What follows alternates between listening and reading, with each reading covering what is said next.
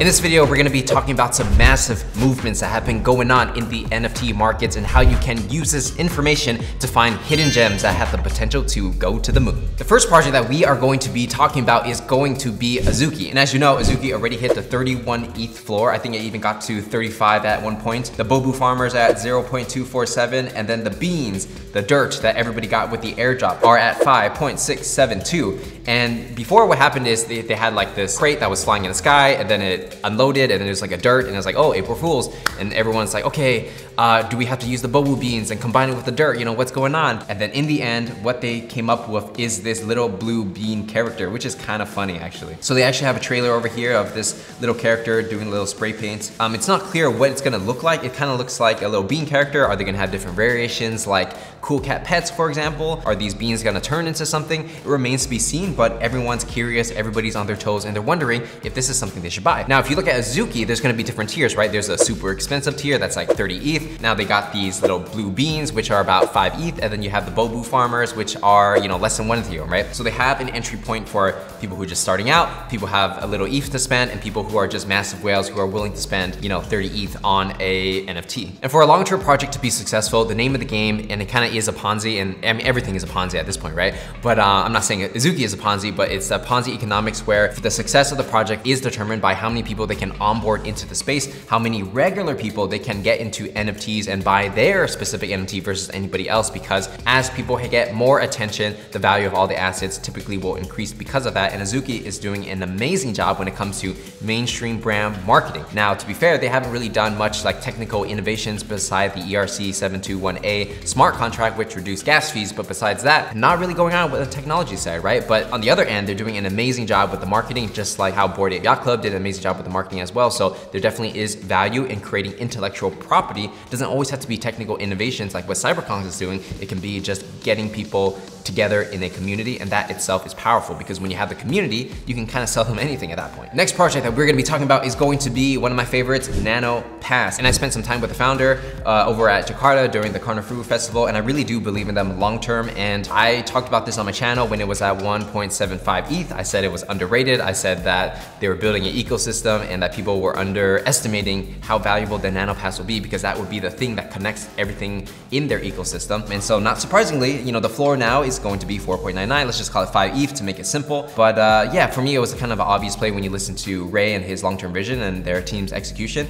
So far, they kind of been checking all the boxes. So why is Nano Pass pumping from, it was like 1.75, then it went from that to like 3 ETH, and now it's like 5 ETH, right? Part of it is because when Azuki pumped, everyone started feeling more confident in the NFT space. Some people took profits and they rolled it into other projects. It's getting more attention on the news, so more and more people want to buy NFTs, right? So it's just, it comes in waves. It's, it's hot, then it's not. And right now it's hot, especially when it comes to the anime stuff because like anime culture, Asian culture is kind of running the scene right now um, in certain demographics. So it's a five Ethereum. If we look at Icy Tools, right, we see that it's kind of been steadily growing and then just in the last, let's say, week or so, it went from like 2.7 all the way to 5. And it's just people FOMOing in. It's it's two things, right? One is that people are trading based on narrative where, you know, they know that there's gonna be a free uh, phase two drop. So they're gonna buy the Nano Pass, they're gonna wait until right before the drop, they're gonna sell it to the next guy for maximum profit, and then they don't care what happens after. So that typically happens quite a lot. Other people are like, I love the Nano Pass, I wanna be a holder. So they're gonna say like, okay, if I'm gonna buy it, now's the time because it's cheap and I'm gonna get the free phase two. So I'm gonna hold the Nano Pass and I'm gonna get a phase two, and then hopefully I can get whitelist for PXN, right? And so there are people that are believers and holders, so you have people who are flippers, but when you combine the believers and the flippers, everything just goes crazy. And I think, you know, all that is a perfect storm to get the Nano Pass to a 5 ETH floor. You know, with that said, let's go ahead and talk about the Phantom Network, Project PXN, right? This has been extremely hyped right now. They have over 200,000 followers on Twitter. I think even Nanoverse only has 200,000 followers, so that's pretty crazy. And as you can see, the is pretty good. It's kind of like that Asian Valorant League of Legends style combined with uh, like tech wear, which is very a popular niche. Yeah, as you can see here, very tech wear inspired. Like if you go on Pinterest, you type in like anime tech wear, you're gonna see like a whole slew of this kind of art. So one thing that I really appreciate about this uh, team is that they really understand how to find a target demographic that is starving for what they want, right? So, you know, before Project PXN, there wasn't really like anime tech wear PFP project, right? So this market already existed outside of NFTs and all they really had to do was say, oh, outside of NFTs, this is super popular. Let's just make an NFT about it and then people will spend money on it, right? So it's like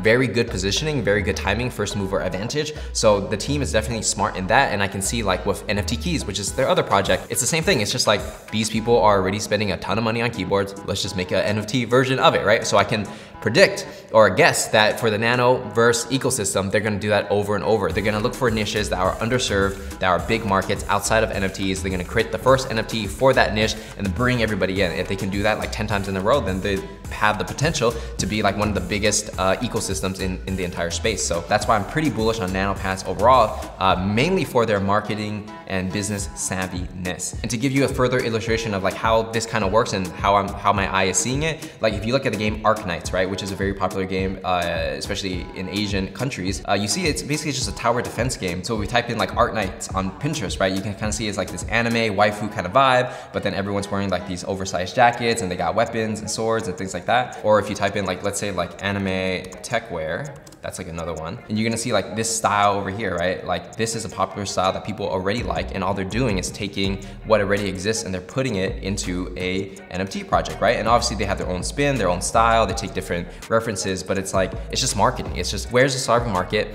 How can we give them something that they already want? And then we don't even have to do any paid marketing because this is, they're starving for it, right? And like, here's another like random example. So like, if we're talking about like animes and NFTs, right? So there's an entire niche, like I guess it's like otaku niche of like um, people that collect anime figures. So like these anime figures, people pay hundreds of dollars, sometimes thousands of dollars for these anime figures and they're kind of based off of popular anime, right? And this whole market for this, right? Multi-million dollar market. And there's also a game like on your iPhone and Android where you collect these figures and then they battle each other in like this idol battler type of system, right? So like people pay a lot of money for this kind of hobby, this niche, people like this kind of vibe. So like when I see, let's say somebody create uh, anime figurine uh, NFT project, I'm gonna buy that one, right? And I don't really collect these figures, but I know that other people collect these figures. I know they spend a lot of money on it. I know that there are YouTube channels, Reddits, Discords that are dedicated to this niche. So when I see someone attack a niche or go for a niche where it's underserved, not many people wanna go for it, but they really have the culture and they understand how to make a product for this audience,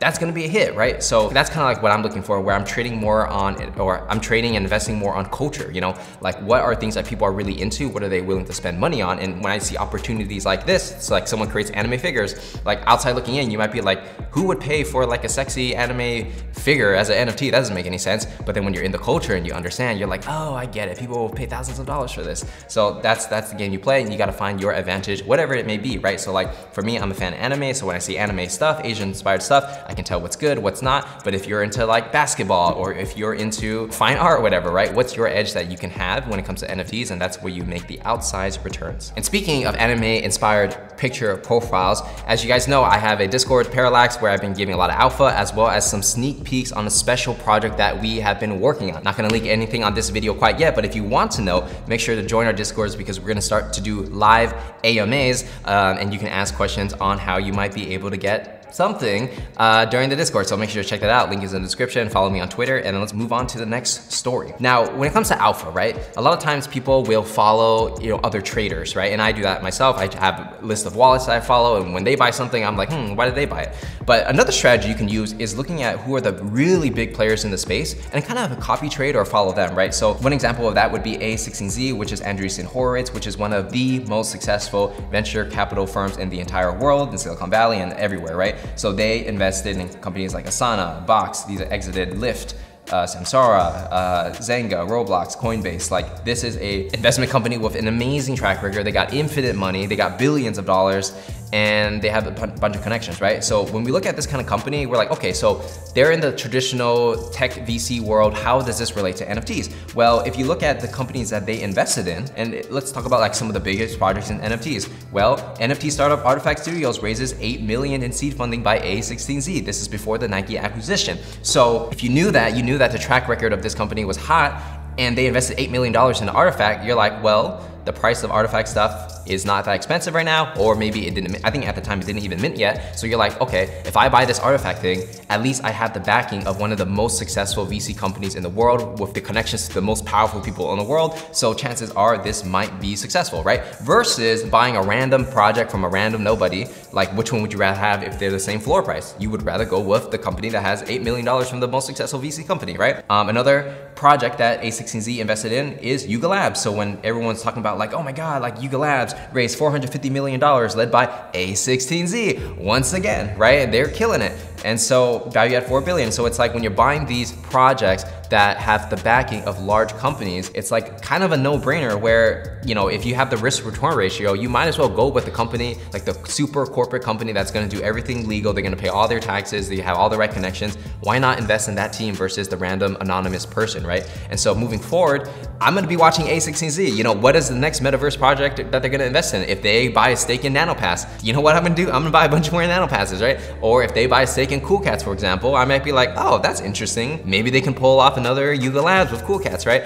Um, they didn't do those things. I'm just saying hypothetically, right? So I, from now moving forward, I'm gonna look at who are the best investors in the world, right? Just period. And then if, when they invest in NFT projects, I'm gonna pay a very close attention because, you know, I'd rather have my money right with them because they did all the due diligence for me and they're gonna take it to the next level, hopefully. And to really hammer this home, let's look at one more project that has, has huge investments from a large VC. So that's gonna be Proof Collective. I remember when I was looking at this, it was only a couple Ethereum. And you know, when I started my NFT journey, the first, the person that really got me into it was uh, Kevin Rose. I would listen to his podcast, Proof, basically, and then I would learn about NFTs that way, right? He interviews with founders and stuff. And I didn't end up buying one of these, but I should have because the floor right now is like 68 ETH. So why is it so expensive? Well, first of all, you have to understand that True Ventures, which is a venture firm that has raised billions and invested over $2 billion into 300 teams, they are basically like Kevin Rose is part of this team, and then Kevin Rose started Proof as a way to do like to seed venture deals, right? Because people know who they are, more people want their money because they can help them out.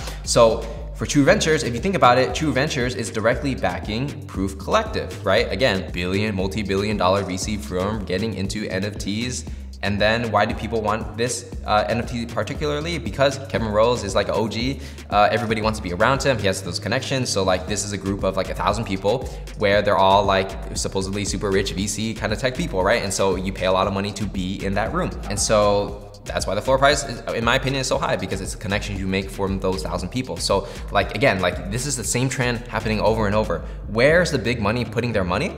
And uh, as the little guys, which is us, I guess, or maybe some of you guys are whales, like how can you kind of see that and kind of follow it? And then when you, you know, make a bet on an investment or a trade, your risk to reward ratio is a lot better because, you know, you're not just, you know, making a guess on your own based on your own experience. You are kind of looking at what people with like billions of dollars are doing and, and kind of copying them a little bit, right? And there's nothing wrong with that. And so those are the lessons that I've been learning over the past few months. Um, I wish I had bought this, but you know, moving forward, when I see like another venture firm that I respect and they have a good personality in the front, God if they come out with an NFT project and it's gonna be a very exclusive club and they have very limited quantity, well, maybe I'm gonna spend two ETH to buy that, right? So those are the things that I'm personally thinking about. Next thing we're gonna talk about is Karafuru. So this is really interesting because, you know, I know a lot of you guys have bought Karafuru since I made that last video. Uh, right now, you know, during that video, the floor was like 1.9, now it's 2.5, right? So it's quite a big jump since my last video. And to, you know, something I found really interesting is that when we look at the sales from Karafuru, let's go last 30 days on OpenSea, right? We dropped the video around April 1st on according to OpenSea, right? And so the volume for that day, usually they get like 20 sales, 17 sales, and then all of a sudden they got 60 sales the next day, which is the same day I dropped the video, and then it went back to 38, and then now it pumped up to 54, uh, and then 23. So like, it's pretty crazy. I'm not saying that it was because of my video that, you know, they got like an additional 40 more sales, but I definitely have seen a lot of people message me on Twitter, a lot of people have messaged me on Discord and said, I bought a Karafuru because you were so bullish on it during that video, right? And so that's just the power of narrative, right? And not, not just speaking on Karafuru, but like, you know, any project that I feel, you know, has a good team and they're doing something right, if I make a video on them, is it possible that the price might pump? Probably, right? Because that's what being an influencer is all about. Um, but if your intention is in the right place and you really believe in the project long term, and for me, I'm holding Karafuru and I'm, I'm, trying to buy more, to be honest, if I can liquidate some stuff. Yeah, man, it, it's kind of great for everyone. And I just, it just, for me, it's like, I'm pretty new to this influencer thing when it comes to NFTs. So like when these kind of things happen or like when people buy something because of something I said, it's, it's quite crazy to be honest, right? Like someone spent like $6,000 on a Karafuru because they watched a video. I always try to do right by you guys, you know, like the things that I personally recommend are things that I buy myself. So just keep that in mind. And you know, I'm not the type of person that would try to pump and dump on you uh, because why would I do that? Because it just, that would just kill my reputation, right? But overall, I think what's gonna happen with Karafuru is that because it's all, it's all about narrative, right? So like Karafuru has a solid team, they have a solid company, they're competent, they create great work, um, and they're just underrated, I feel. And I think the reason why the floor price dropped to like 1.8 is because they didn't have a great way to explain their narrative, right? They weren't really thinking about like, okay, like this is a concise message that we're gonna put out. This is our spokesperson. They're gonna go on all these interviews and they're gonna tell the story. And so for me, when I tell the story, obviously people buy, they get more confident. And if I articulate it in a very clear way, then they kind of spread the word. Now for me, you know, when I created that story, it was only because I hung out with the Karafuru team in person myself and I asked them these questions. Like I'm literally asking them like, you know, what's your long-term vision? What's this partnership gonna look like? Like, why do you do this this way, right? And so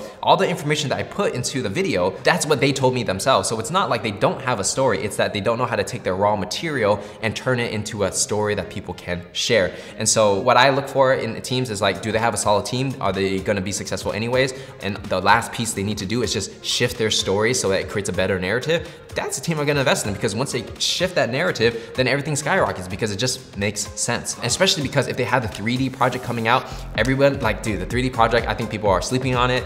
Um, like, it's kind of worth it. It's just buy Karafuru so just so you can get the whitelist or the free mint for the uh, 3D project, in my opinion. Again, not financial advice, but that's kind of like what I'm doing. But yeah, so I think Karafuru, I think it's a solid hold to hold Karafuru itself, to hold the 3D project because I think they're gonna go places in the long run. We've seen what happened to NanoPass where things blew up once they have a good narrative going on. Again, it's narrative, right? It's not even, nothing new has to happen. It's just people start to believe the market gets hot and that's what it is. You can trade on that narrative and, and sell it at the high, right? Or you can just hold it and if you believe in the long term, really up to you, depends on your strategy, but um, that's kind of like what I'm thinking about. And the last project of the day that we're gonna be talking about is CyberKongz, right? And as you guys know, I'm a big fan of CyberKongz. I hold a lot of babies, I hold a lot of VX, and you know, right now the price is, is tanking, right? It was like 7.5, now it's five. And then for VX, uh, it was at like, let's say like two Ethereum and now it's like 1.15. And so it, it's the, the thing is like CyberKong is a good community. They are innovators, but I feel like they haven't been crafting their story that well, especially because the play to collect game wasn't that fun for the average person. And there's more competition in the space as well. And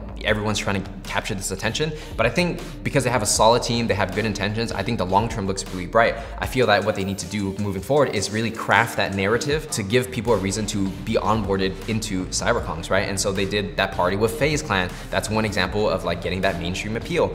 Um, I think before CyberKongz was trying to be like the Bentley style of marketing where they're kind of cool and people that know that know. Uh, but at the same time, like if you're too cool for school, you can't onboard new people, right? And so now I feel like they're trying to do a little bit of a mix where they're trying to be more active on Twitter. All the followers, all the holders of CyberKongz are trying to be more active and friendly and trying to onboard new people instead of trying to be too cool for school. So if they're able to pull it off, then I think this pricing can kind of reverse, um, especially because their play to earn mechanics are, you know, pretty top notch when it comes to like, uh, you know, idol idol style kind of games and creating value. Um, but I think they really just got to create that story for the average regular person who's gonna buy an NFT with their credit card on OpenSea. They got to capture that person's attention. If they're able to do that, then I can see this kind of going up. And at 5 ETH for a baby, that's pretty cheap. Like four, if it ever gets a 4 ETH or 3 ETH, that's like a steal in my opinion, because that's like way too low for a CyberKong baby, to be honest, especially because they are producing some passive income for the babies. Um, the VX does produce income as well, not as much. But yeah, that's just something I'm personally looking at. You know, what is the narrative play? Is it their solid team? If, if they can change the marketing, you know, can it explode? Yeah. So that's it for this video. I hope you enjoyed it. Follow me on Twitter and I will see you guys in the next one.